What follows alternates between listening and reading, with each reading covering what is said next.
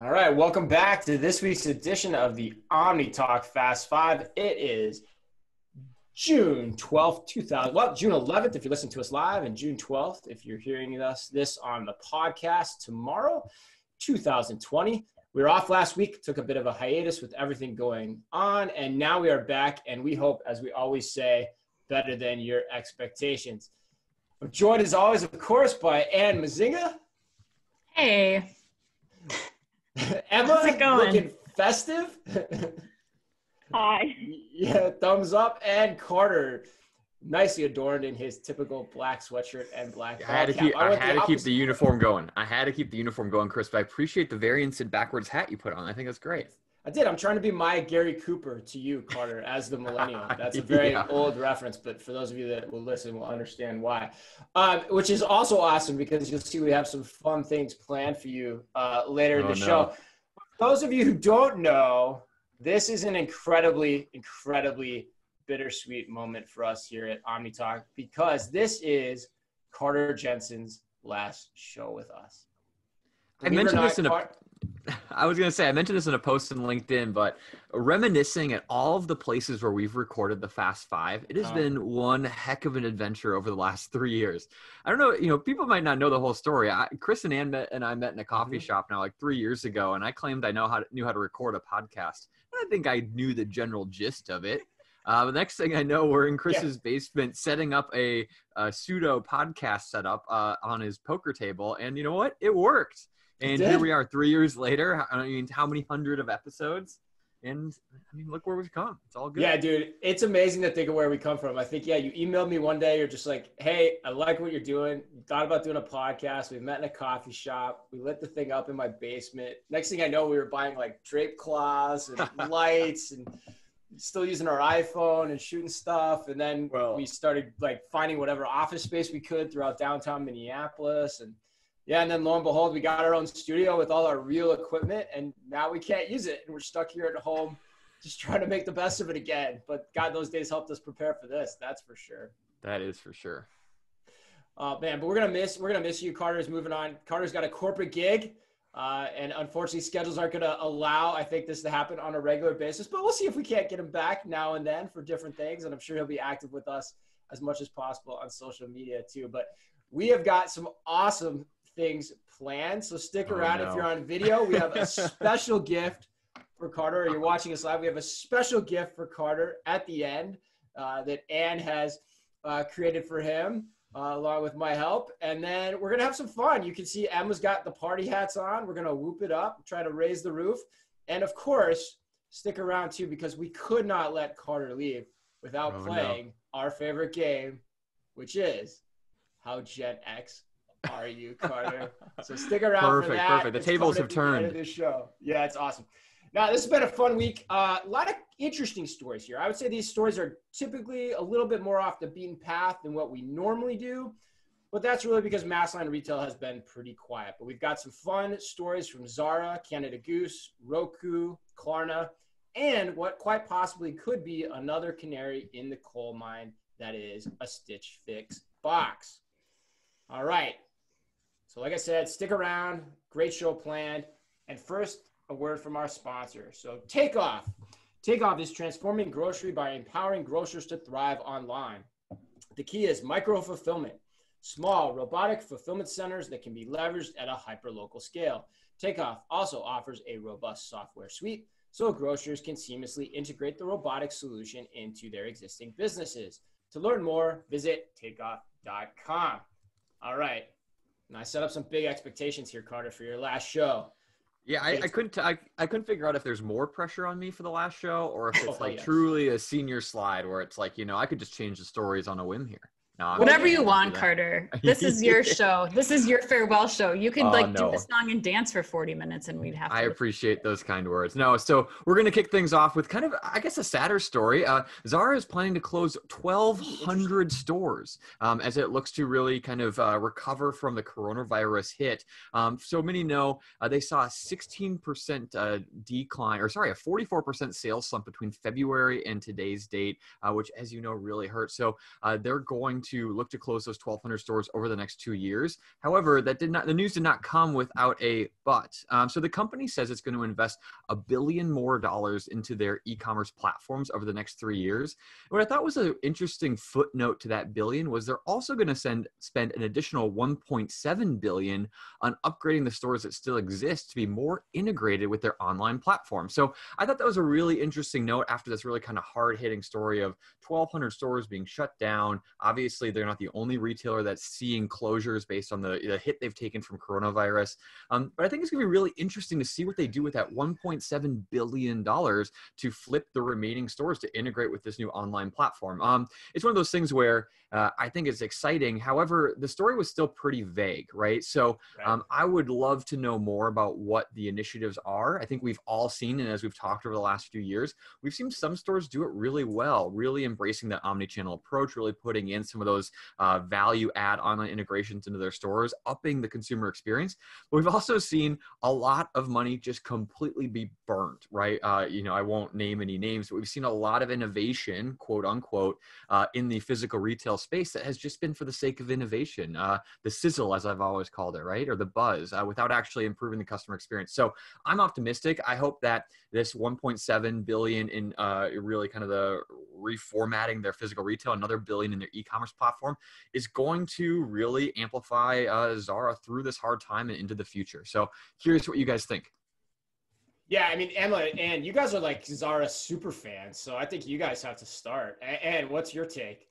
I mean, when I first read this headline, I was so sad. I thought, oh no, we just got Zara in Minneapolis. Now you're going to take it away, but they're not taking away. I think one important headline, like correction here, that was incorrectly published in a lot of places is that it's not Zara stores only. It's Inditex, right. the parent company, that's going to be shutting down a lot of the stores and most of them are in Europe and Asia. They're not going to be in the North America market. So just in case you were worried, Zara is still safe uh, for those of us here in the U.S. But I think um, there's this is a really good indication of, especially where fast fashion is going. You know, the, it's a smart move to start going into a bigger focus on technology. And when you think about it, you just you don't need the three level Forever 21s and H and M's anymore there's no need for that. We've, you know, Chris, you have a really great piece coming out in Forbes that I hope you'll talk about um, that really examines this a little bit more closely. But what this pandemic has taught us is that, yeah, the, the retail investment is not going to be, um, doesn't need to be as significant as it once was, especially for these fast, fast fashion retailers if they're going to stay alive. Totally agree. Emma, what's your, Emma, what do you think? I'm most excited for the investment going into their like e-commerce site because that shopping experience is awful. Like people talk about this on Twitter who aren't retail oriented and there's so much more product on their mm-hmm. e-commerce site than there is in the stores. Mm-hmm. So I'm really excited to see what they can do with that because the shopping experience, you can only look at like two things at a time out of thousands and thousands of products. So I'm most excited about that. Mm-hmm. That's awesome. That's a great point too. It's a great point, especially from you know having you know trying to shop there and, and bringing that perspective into it. Yeah, and I think I think I mean you said it. I don't know that I have much to add. I do have a piece in Forbes coming out tomorrow. The, the working title is of it is, you know, don't expect a recovery. At you know, at best, if you think we're going to get a V-shaped recovery in retail, it's really a V. It's really a W disguised as a V. Um, that's not really a working title. That was more of a description, but it's something along those lines. So you'll see it tomorrow. I'm but, hoping that there's going to be some sort of like Mighty Ducks flying V video clip inserted in that. oh, the flying V from Mighty Ducks. Yeah, yeah, yeah. yeah. Carter, did you see that movie? That's a good I don't know, know what that is, but I do know ah! Minnesota reference. So what Carter does, according to Gary Newberry, who's watching us live on LinkedIn, you do have dulcet tones, which I think is a really interesting, a really interesting description of your of your voice and and and the what is it timbre tim what timbre of your voice. But anyway, getting back to retail. Um, no, I mean I think the point of that piece is like you know yeah you've got the virus, but at the end of the day, physical retail was in was amid a reckoning before all this happened and and like you said there's just less and less reasons to go to a physical store. You don't need the three levels of whatever you know specialty apparel concept that it is. You don't necessarily have to go there to get the product you want. And people are now thinking more digitally. We've talked about social commerce and how that is now becoming a new place for discovery. Uh, but that discovery now ha- happening online which in the old world that never occurred And so I think this is a really smart move. I wish you were seeing more retailers do this as the question of reopening happens because you're basically saying, you know what? Now's the time. We know we're not going to have as big of a store base in the future. Let's cut our losses while we can. And let's start to prepare and invest in the things that we do need for the future. And that is a better omni channel, quote unquote, digital operating platform. I think you're seeing Best Buy take this approach. I think you're seeing companies like Starbucks take this approach. I applaud them all in the article. Um, and yeah, and so I think this is a smart move. Uh, if anything, yeah, I'm actually not saddened by it. Actually, I'm like highly optimistic that I hope more people will start to get the punchline of the joke and follow suit in a similar way. So, any other thoughts to add there, guys? Let's do story two. Emma. All right. So, Canada Goose is looking to focus on D2C sales through both its own stores and online channel as it begins to pull its line from multi brand retailers. So, some background on Canada Goose. Canada Goose has opened 21 stores globally since 2016 with continued plans for expansion, and the products were available for years in multi brand retailers prior to its own stores. And from this article, the company says it's still planning to maintain some of its wholesale partnerships. So, I think this is an awesome move for Canada Goose just because buying those jackets, that's such an investment. And the shopping experience that you get both online and in store is just something that department stores or multi brand retailers just don't have the capability of like replicating. So I think it's a great move for Canada Goose. I think it's definitely going to hurt some department stores going forward, but you got to do what you got to do for your brand. Emma, by the way, how much I, I remember that this morning. How much do you still love your Canada Goose jacket on a scale of one to 10? 12. 12. Okay, got it. Emma is still actually wearing her Canada Goose jacket in the summer because she just yes. loves it so much. Paying yeah, off that investment every day. This, this story She's the only close... one of us that has one. But yeah, it's awesome. right. this story hits close to home. If you guys remember, I think was it just? Yeah. It's so weird to say Black Friday last year. Last year. As yeah. weird as that it is to say that right now, but I mean, we had Chris. You had the video that we did within the cold room there that I think really took off in terms of views. People love yep. that firsthand experience. We had a great experience there. We always have. So good that Emma even bought a you know fifteen thousand dollar jacket. You know, and I think that you know it, it this hits home, and I, I couldn't agree more. You know, the comparison I make almost to it is, um, and I have some Apple blood going through me as a past retail employee there, but you know, but it's like it's like the Apple store. You know, I never recommend anyone go anywhere else to buy Apple products, even though it's allowed, just because the store experience is so dialed and so brand parallel. Um, and and if you even look, you know, the the bounds at which Target or any Walmart or any retailer can show Apple products is so constricted and so regulated, and that's for a reason right? So I think this is a, a really good move um, by by the brand, and I I think um, yeah I, I agree. Yeah, and what do you think? Yeah, I think it's incredibly smart. I mean, contrary to the last story that we were talking about with Zara, you're talking fast fashion. I mean, Canada Goose, let's be honest, this is a luxury retailer. This is not a $200 North Face jacket that you're fine buying in a Macy's or a Nordstrom or whatever if you're going to invest that amount of money in this kind of product, you should have an experience that that follows suit. And Canada Goose has always been 100% in 100% in on experience. They, you know, we talked about a few months ago. They opened their experience only store where you couldn't even buy the product in the store. It was just to try things on, and then they deliver within a day. So I think they're still a very accessible brand. Again, I think strategically it makes sense. Um, going into this next kind of post-COVID economy, um, downsizing retail footprints and really focusing your energy on those few stores that you can truly own as a brand. And they're making triple the profit selling in their own stores versus department stores. So, I mean, to me, it's a no-brainer. Yeah, I love this. I mean, I think we've been kind of saying that this was going to happen for some time. You're seeing the move. You're seeing the move across this. You know, throughout. Uh, you're seeing this move across the industry in a lot of ways. I mean, Carter, the Apple example is great. I mean, think about like what Pepsi did like recently. Like, right, Pepsi is going direct. That's that's not any different than what we're talking about here. And so you've got a great product, you've got a great brand in Canada Goose. It's an expensive high-end brand. You want to make sure people are getting the experience that they want to have with that. And now the barriers to entry are such that you can have that direct relationship with your consumer. We've talked about Instagram shopping. We've talked about Facebook shops. We've talked about all those outlets where you can have that direct relationship So yeah, your stores are a part of that. How much the average Joe department store plays into that, it just doesn't seem as relevant anymore. And so I think you're going to start to see more companies in general start to go this direction, regardless of whether or not they're luxury or not. The other problem it solves, which we didn't talk about, is it solves the problem of that rogue person going into a marketplace and trying to sell your product as a thing that they consistently do. And that's really hard for these high end brands, especially to keep a hold of. So the tighter they keep their distribution and say, you know what, I'm only going to do it myself, then they have a really a much, they have, excuse me, they have a much stronger ability to understand who's not operating by the rules they set. Sure, you're going to get the occasional person, like say if Emma wants to resell her jacket, one item of her Canada Goose jacket, yeah. But somebody trying to do it in mass as a reseller going rogue, they can't do that anymore if you start taking this approach. So I just think it makes a ton of sense. It looks like we're getting similar types of chatter on LinkedIn Live as well. Carter, anything to add and close? No, I, I, I, think you're spot on, Chris. And I think, you know, the, uh, the general term here is, or not even term, but idea is the fact that I, I don't necessarily uh, trust, let's say, a Macy's associate to accurately represent my brand when making such a significant purchase. Um, and I think that you're going to see, again, the trend of some of these brands moving away from that to, to consumer to control that entire experience all the way through. But I mean, you're buying a luxury product. You should be able to have a one on one, like hands on experience. It shouldn't be waiting in line at a, you know, checkout counter four people deep to buy a product like that. Like, and if I was Canada Goose, I'd want to own that. Yeah, but I think too, and I push on that too. I think too. I think that's. I think it's also like.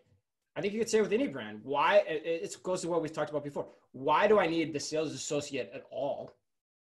In a lot of ways, and why do I need the surrounding retail experience necessarily at all of something outside my brand? There's so many different ways to approximate that now. Unless there's that mm-hmm. role that they're actually playing. Maybe in a high end, it's more likely. But like when you start talking about some of the, say, more mass market appeal items, like you don't need a sales associate to help you buy most of what you're buying on a given time. A jacket, maybe. Canada Goose jacket, maybe. But you know, the environment, it's got to be specifically tailored. And like we said, like when you have that cold storage frozen room, it actually really helps you understand totally what's going on and surrounded by everything else that's happening there. Whereas, like, you know, in the Macy's department next to men's suiting, which Carter frequents so often, that's probably it's probably not going to do much for you. So, um, all right, well, let's keep moving. Who's next? All right, I'm up next. Uh, so, uh, story number three Roku taps Kroger to sharpen targeted advertising, is the quote from Supermarket News. Uh, I'm curious of the three of you, how many of you have cut your cord? How many of you are still paying Comcast $180 a month for the 300 channels? And I think there might be one. This is a good how millennial yeah, this is good. I we I think we I actually am. asked this 18 months ago. It's it's been asked before, but uh, you'll see there's a reason, reason, why. Though. My okay, reason, let's hear it, Chris. My, my, my reason's NFL package, but that's still, you know, that's not going to be anymore. Not, not going to be for when, long, though. I know. When Bezos yeah. owns the NFL, you know, soon yeah, enough. I know, right? All right, so you'll you'll see why I asked that. So, um, Roku is bolstering its targeting ad capabilities in hopes of luring more brands away from linear TV, uh, which continues to see declining viewership um, as consumers continue to cut the cord. Obviously, not Chris. So, um, Roku has enlisted Kroger's Precision Marketing or KPM solution for a new shopper data program aimed at consumer packaged goods specifically. So moving beyond these stereotypical metrics that us marketers constantly look to, like impressions or reach or frequency, uh, Roku said that marketers are now going to be able to activate advertising across the hundreds of ad-supported channels, and they're going to be able to link that ad exposure directly to in-store and online sales thanks to Kroger. Um, this way, we're going to be able to, and I say we as marketers, but uh, marketers will be able to better understand actually uh, what's working, so optimize their ad spend and actually what their return on ad sales is or return on ad spend specifically. Um, so this is a difference that KPM is going to provide for Roku. And um, again, it's, it's going to be a, a, really kind of revolutionary thing. So um, KPM will join the program as a launch partner to be the first to build in market targeting. Um, and ultimately, we'll continue to see this program grow. So just a couple stats for you, especially Chris. I know that you're not familiar with this world, um, but Roku serves currently 40 million households. Um, and just this last week, it added 30 more ad supported channels to its free streaming service. Um, and in May, it released a new uh, revamped ad pl- platform called OneView. So continuing to innovate, continuing to expand. And someday, Chris, you're going to cut that cord and join all of us on the light side. I, I think you might be right. I think you might be right. I will say I do love this move. I think this it definitely shows you where the future is going. So I I'm not there now, but I definitely see myself getting there at some point. I like this for two reasons. I think one, um, and it's something I think I've told this story before on the show, but once once I had the once one time I sat down with the CEO of Wayfair and he told me how like the, he never has budgets. Everything is just real time because they run an ad in HGTV. They can see immediately what impact that has on their online business. Now, while all that infrastructure is getting set up in the CPG world, we talk about Pepsi, them doing this through these mediums allows them to make those correlations pretty quickly and they can see exactly what's happening. So it's a really smart investment because you can dial it up or dial it down to whatever extent you want. And I just absolutely love that. And to your point, more people are putting their eyeballs in those places. The other thing I like about this, which I think is different, is subtle, is there's still an untapped opportunity to me in terms of what is my experience watching something on a streaming service correlated with what's happening simultaneously on my phone and also the networks effects of who else is doing that. So i.e the social commerce angles there too. I don't think anyone's tapped into that yet and i see that happening because i see myself doing it. I was streaming um, dead to me last night with the mrs Omni Talk and i'm always on imdb like looking up all kinds of stuff. There's this whole way of engaging with these new mediums that still is being explored and i think ultimately this taps into all of that too. But anne i see you're shaking your head in the affirmative here yeah, I mean, you guys covered a lot of it. I mean, Kroger alone has 97% of their transactions, 60 million households that they serve across 2,800 stores and 35 states. That's a hell of a lot of data on top of what Carter was saying. I think it was, what was it, Carter, like 40 million households or something that have the Roku. That's stick. correct. Yep. Mm-hmm. We just saw in the report that you put out, Chris, this morning from Market Beyond that the like Roku stick is the number four out of stock product on Amazon. So I yeah. think that the adoption of this type of over the top you know streaming service provider um, partnering with um, a company like kroger and their precision marketing is going to kind of pave the way for how retailers are doing this um, you know how this targeted especially cpg targeted ads are, are happening um, in the future.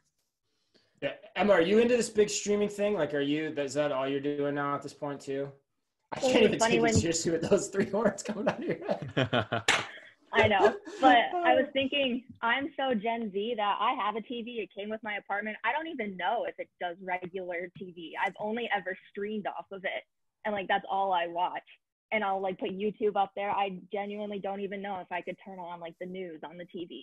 Right, like if there's a quote unquote antenna, if you're old school, like like us. That's, that's I don't know. That's awesome. That's awesome. All right, cool. It seems like we're unanimous on that one. We're pretty much in it. Pretty much we have agreed on most of the stories today. This is interesting. We'll see if this starts to change a little bit. All right. I feel well, like that's directed at me. Oh, is it? Yeah, yeah, right. We don't have, we don't have, you, well, usually I'm the contrarian, but yeah, you're the There's still time. There's right, still time. Yeah, all right. There's still time. And I think there will be some, some points of at least discussion here as we go forward. But all right, I've got story number four, and story number four has to do with Klarna. So if you heard the news this week, Klarna hopes to create what it calls good vibes with its new loyalty program. program. So according to Chain Store Age, Klarna has a new loyalty program that will provide shoppers with the chance to earn one quote vibe point end quote for every dollar they spend on installment or financing purchases made via Klarna at any retailer. Customers can sign up for the program through the Klarna app free of charge and then their quote unquote vibes can be unlocked as rewards by way of gift cards at retailers like Starbucks, Sephora, Footlocker, and Uber. Uh, in addition, Vibe members also have access to exclusive online and offline sales and experiences. And if a retailer has its own loyalty program, customers will also get credit for those programs in addition to what they get credit for at Klarna. I love, love, love, love this as well. Why? cool. I just think it's differentiating. I think it's a smart move. I think we've talked about installment. We talked about Klarna a lot. We've talked about Sezzle a lot, Affirm a lot. I just I just think this this thing continues to happen. I just think it makes sense to pay for your for your purchases on installments if you can. Why not expend your pay extend your payables if you can? And this is just a cool way to differentiate and get me you know, into a particular platform, which I haven't heard from any of them yet. Like, oh, okay, now I'll sign up because if I can use this, now I can get an added benefit beyond just extending my payables. So I think it makes sense. Yeah. Chris, you, you use the word differentiate, and I think with the thing, it's accurate to differentiate against like like type services, right? Between mm or Klarna or whatever 100%. the ones we might talk about. But the thing that came to mind for me directly was, I mean, it's just it's like credit card rewards, right? Like, I mean, you look and say, you know, Amex is doing this all the time. Do I get a Chase Sapphire or a Delta Amex or you know, because that Delta Amex one's sure paying off this year, right?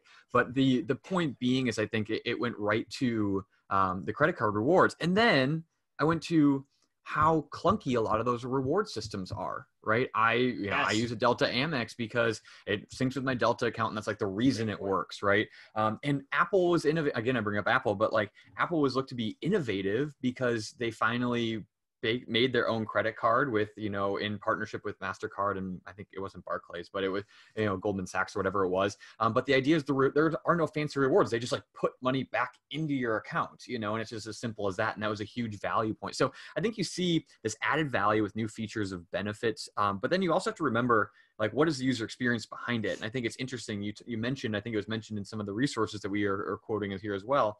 It's not like you have to save up some you know, for some big purchase. It's like you get some money to Starbucks or something that you might use day in and day out. And so I'll be curious to see how seamless that whole thing is and if it is really something that we go into because of those benefits, because how easy it is that might be able to help me buy my latte tomorrow because I chose Klarna over something else.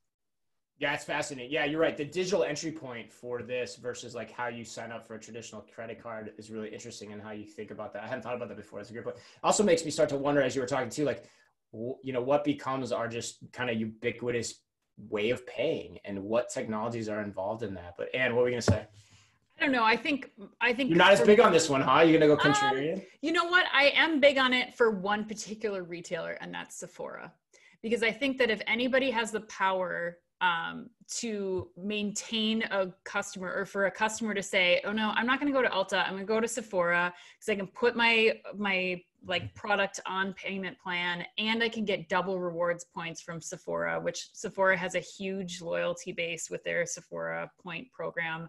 Um, so I think that might incentivize a customer to go to one retailer over another. But I think, like to Carter's point, it's only a matter of time before we start seeing all the other installment payment companies doing a similar type of offering. And I, I guess I'd question like how often outside of Delta, I think like the airline points are one thing if you're a business traveler and you're traveling a lot, but how often are you like cross checking your credit card statements and being like, oh yeah, that restaurant I get double the points at, so I'm going to go to that one more often like i don't know. I just don't i think it's a good idea. It's not a bad thing to have. I just don't know that it's like this earth-shattering moment. Yeah i think i think i'd agree with that too. It's, it's just it's differentiating for a time but uh but yeah like everyone will congeal towards the mean here you know as these things continue to go. What do you say I was just going to say the other interesting thing too is the partners that they're gift card they're giving gift cards to aren't even Klarna partners. So I wonder if there's like some strategic move mm-hmm. that they're trying to work on here. Like Footlocker is not a Klarna, at least uh, from what I could see on the Klarna website of all their retailers. Starbucks is not hopefully people aren't putting Starbucks on payment installment plans, but who knows? Um, but those partners aren't working with Klarna currently, so I don't know if that's some sort of like way that they can weave their way in there. So, mm-hmm. yep. Emma, what do you think? Gen Z take on this? You're all about getting money back, right? Paying on installments. I like paying in installments. I'm not really like my credit card is like a college level one, so I sometimes get money put back in, but it has like such a strict limit and I only have it because you know one of those adult things is getting a credit score. So that's really the only like reason I own it. But I I'm do maxed really out like with the Canada Goose jacket. Yeah, right. Yeah, I do really like that. For now, this will like draw me more towards using Klarna over the other installment payment like companies. But like Anne said, I mean, once they all start doing it, I think it all just goes back to the same. I do love paying that way though. I think that is awesome. Yeah. Gets you over the trial hurdle a little bit different too, I think, you know, as we're thinking about this too. Like if you if you've been on the fence of, you know, giving these a shot, maybe you start thinking about how to do this because of this. So all right, and why don't you finish us up here with story number five and then we'll segue into some of the fun things we got planned for Carter on his last day. Sounds good. All right. Story number five is that Stitch Fix has announced that they will be laying off 1,400 of their 5,100 stylists um, the, that are currently in California, so based out of California. They um, will uh, do the layoffs in September, and those affected will have the opportunity to relocate and um, stay with a San Francisco based company. They just can't work out of San Francisco. So the online retailer said that they will also be hiring another 2,000 stylists in lower cost locations like Dallas, Pittsburgh, Cleveland, Minneapolis, and Austin beginning this summer and continuing throughout 2021. I have some opinions on this, uh, but I'll open it to the floor first. Yeah, yeah, Carter, I have a feeling we're gonna mom and dad debate this one, like you like to say here for yeah, one of your final I mean, show or your final show. I just, so I just feel a little. I just feel a little hurt that Minneapolis would be considered a lower cost location. It seems to be just really close to home. Ouch. That you know. So I'm gonna let you mom and dad this. I I'm curious what you guys uh what you're gonna debate on. I want to hear what Emma's got to say too, though. But like Emma, like current take on Stitch Fix. I have an interesting short story. We were talking about this in one of my classes, and we came to the unanimous decision as a bunch of like 20, 21 year olds that Stitch Fix is for moms. Like none of us hmm. had ever used Stitch Fix, but all wow. or like a lot of people's moms were really interested in it. Like moms that, you know, just aren't really into fashion but want to look better. And so that was kind of an interesting take on Stitch Fix. Now anytime I think of it, and that's the idea I had in my head too. I was like, this is just for like moms who don't really want to go out and shop. So that's my only tidbit. That's your take. So yeah, so it's like not taking root with you, which which I which is why I asked because I'm I'm really interested in this. Now, I'm interested in this for a couple of reasons. Like, if you look, if you think back, remember we did a story probably on the show. I don't know, it was probably two, three months ago now, where Stitch Fix made the decision to start selling its own products. So it went away from just the box. And remember, it's not a subscription per se. You pay like I think the fee is like 20 bucks, and you get you get the box on demand, and it's you know kitted for you and sent to your house. And you keep whatever you want, pay for whatever you want. But like we did a story how they're going to start selling their own products online, and I was I was worried about this because this showed me potentially that something was up because you're now going to a strategy that not many people have found success with. I mean, you can't count on two hands the number of retailers that have found success selling their own product lines and apparel, um, or selling other people's products, even apparel, even in this case. And so either way, it doesn't really matter. So like it's it was a dubious strategy to me. It signaled something odd. They had a lot of operational issues in the beginning parts of this year. They're continuing to cite those, it appears, in their earnings release as well. And so then this struck me as a little bit off too, because all along, let's not forget, you've got COVID 19 going on. So you can't go to a physical store. Why aren't your sales doing really well right now? It feels like they should be doing really well. They're not. Oh, and now you're kind of laying off all these people and now you're going to redeploy that. But then I come back to this other point, which is I can remember two, three years ago on stage at Shop Talk hearing about how this is a data company. And that gets thrown around so much that I get nauseated by it. If you're a data company, why do you need so many people? Like, I just don't get that. And to give you guys a point of context for those listening or watching live, 2,000 people, that's roughly, give or take, how many people I was in charge of when I ran Target stores in Northern Colorado, Wyoming, Nebraska, and South Dakota. That's a lot of people. And how many stores was that, Chris? Like that was, a, that was 12 stores spread across, sure. you know, what for me on an annual basis was 30 30,000 miles checking those out year over year. So like that's a big operation. Like that's a that's a ton of people. So if you're a data company, why do you need that? Or what is really going on here? And so it just starts to open. I have no idea what the answers are, but it starts to open up a ton of questions for me about what's really happening at this company. And well, the answer is they don't need it. They don't need it. They built this company based on being this company that, you know, stay at home moms and people that wanted a gig economy type of job could be able to do anytime on their timeline. And I think my guess is that now that they do have you know several years now of collective data coming in they have algorithms that they already can run that can give you with a good degree of confidence um, some suggested options for the people their clients that are still using the stitch fix service. Um, chris you mentioned they also have other things that they don't even include the stylus on anymore which are you know you can swipe left or right like the guest app we were talking about a couple weeks ago and the service will suggest products for you there. But the the thing is, and kudos to modern retail for really digging into this. Um, one, on the call when they fired all of these people in California, they mentioned that this plan had already been in the works for a year.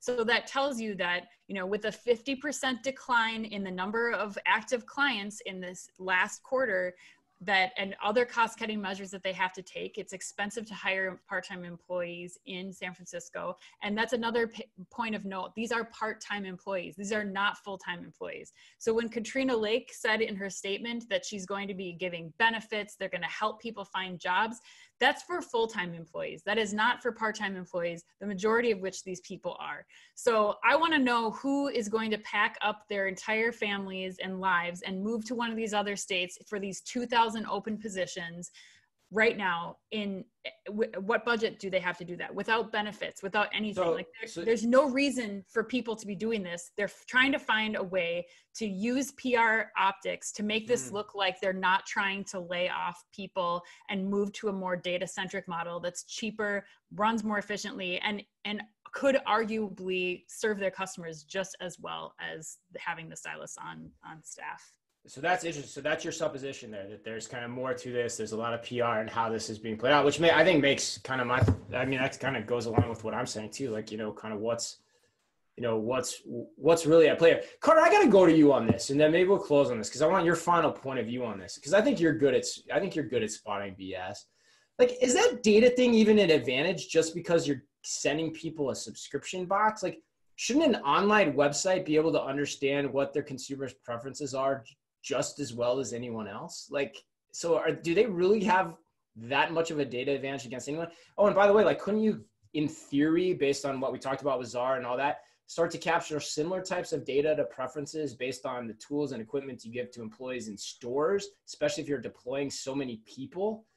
What, what do you think? Like, are we nuts? Yeah, no, I don't. I, I think I think you're spot on. I think the differentiation there is isn't much, right? I mean, it's just the fact that you have a subscription box and actually sending things to store. Yeah, sure, that's great. It's unique. It what makes you different. But I mean, I, you have troves and troves of data from the online platforms and from the digital platforms that you've spent so much money on you know, and the fact that you can leverage the, I, I think, yeah, you, you are correct in short, right? So, um, and I will agree with you in the negative side of it. It seems like uh, leverage PR play to have an excuse for laying off a huge amount of really vulnerable employees.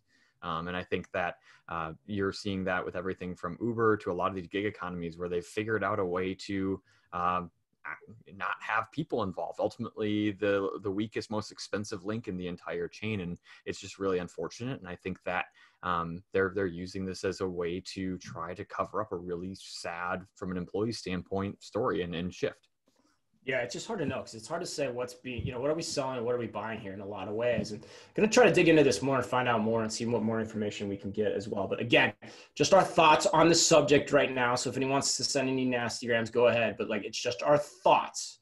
That's it. But I think they're important thoughts, and we'll see where they go from here.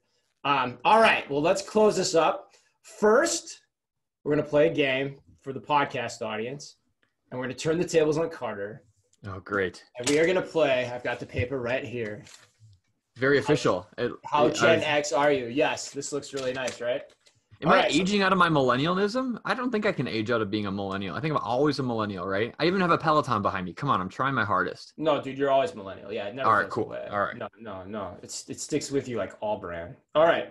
So First question, question number one, and Ann, jump in here with if you want to ad lib some questions. Do do whatever you got to do. Um, as, as if these go. are if these are movie related, you guys know I'm gonna fail every single one of them. So, so I did one movie let's, related. Let's I started with that one. Okay. Okay. Perfect. Name the coming of age tale, starring Ben Stiller, Winona Ryder, and Ethan Hawke. um, Billy Madison. Oh, great! It's also a great soundtrack, Carter. Maybe great you soundtrack. You might know that. it from that. Yeah. I'm not even gonna try. I think anything I say is gonna be embarrassing, and I can't leave here on an embarrassing note. So I'm gonna say I have zero idea. I'll bet you the Gen Zer knows this one. Emma. No. Oh my God. Really? Thank you, Emma. Come on, unified front. All right. Reality I don't really bites. like movies. So. Reality bites, Carter. Reality bites. Oh yeah, I would right. have no. Put it idea. on your Spotify playlist. All right, on it. Yep. Uh, perfect. all right, now we're gonna move into the CPG and retail categories of the question. Jeez, you're gonna realize if, if I'm the real deal or not here. Okay, yeah. let's do it. Yes. Also, also from the mid '90s, what is okay.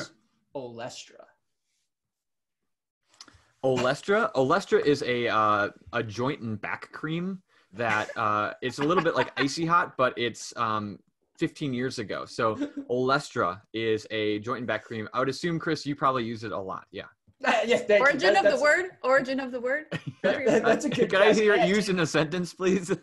and you know what Olestra is, right? Oh God, I'd I'd like to forget it, but yeah, yeah was it was a it was. Oh, are you gonna tell him? You probably. No, you go. You go. You go. It was like a. It was a substitute like product used for like flavoring. So you could have potato chips made with Olestra. That's probably it's the most common thing. Basically. A fat substitute. Yeah. So they tasted exactly like Olestra, but they gave you terrible, terrible loose stools. What, what was it say? It was like on the back of the package. It's like Lay's made with Olestra. And in giant warning label may cause wet or loose stools. Yeah, well, there was a term for it too. It was like nothing sells potato chips like a Surgeon General's diarrhea warning. Yeah, it was like gastric leakage or something like that. That was a great story with Joe Nairns. It's not fit leakage. for a podcast, but. So uh, my, yeah. my idea of soothing and loosening is kind of in the right category. Exactly. Exactly. All right, cool. Well, I'm, I'm going to call that close. At heart. Carter. Exactly. Call that close. Yep, All right, you, I think you're gonna. I think you're gonna know this one. I tried to give you one. Give me chip shot. So, oh, no. so I got two more what product was introduced in 1985 and was one of the biggest flops in product development history? Uh, can I? Is it a technology product? no, it's a it's a CPG product from quite possibly the biggest CPG company in the world. There's a really great oh. SNL skit. Um, is it New Coke? Uh-huh. It is, it is. Coke. I almost spit out my what? water and taken a drink. I didn't think you were gonna get it. Is that I mean, what it is? New Coke? Yeah, I was totally off. What were you thinking it was? I thought it was like Crystal the, Pepsi. Crystal Pepsi was later. Not no, not as like Crystal Pepsi was like in the '90s, right? Yeah, or like yeah. late '80s and early '90s. Yep. Yeah, yeah, yeah, yeah. New Coke. Okay, see, like that's the most like standard marketing 1001. Like intro case study. So I'm glad I, I guessed. It was good. Yeah, no, that was good. That was good. You know, it's only an important piece of Americana and business history, but you you passed. So that's okay, good. All right, last question. This one is probably the hardest question, but I think it's also interesting for the listeners. There was a store in the 80s called Best. What was it and what was unique about it? I want to Google this so bad. Um, yeah, actually may have talked about it on the show. I I want to hope it's like the 80s version of what Amazon 4-star is and it's only the best products that the em- board of employees uh, picked out and used and stocked within the store. You, my friend, are not far off. Actually, what oh, it not was, bad. Yeah, what it was was almost like something in the style of a department store, smaller scale department store. But what it was was it was a showroom essentially. They sold some products off the shelf, but generally speaking, you went in, excuse me, you looked at everything similar to like a Bonobo setup or an IKEA setup, and anything you wanted, you asked the sales associate, and they brought it out to you from the back. So very similar model to things we've talked about and evangelized here, but just made different through different technologies that we've talked about as well. So yeah, no, you were pretty close with that one. That was pretty good. close, ahead of their good. time. That was good. All right. So for those listening on the podcast, that was great. Again, it was Carter's last show. We're gonna miss oh, him dearly. Man. He's meant a ton of so much to us, Carter. I I cannot thank you enough. I know Ann can't either. No, um, there's been a, a lot of awesome late nights, early mornings, a lot of blood, sweat, and tears, especially from you two that have been poured in this. And, and the opportunity to be a part of this whole thing has been next to none. And, and I, I can't thank you guys enough. It's been absolutely a, a ton of fun.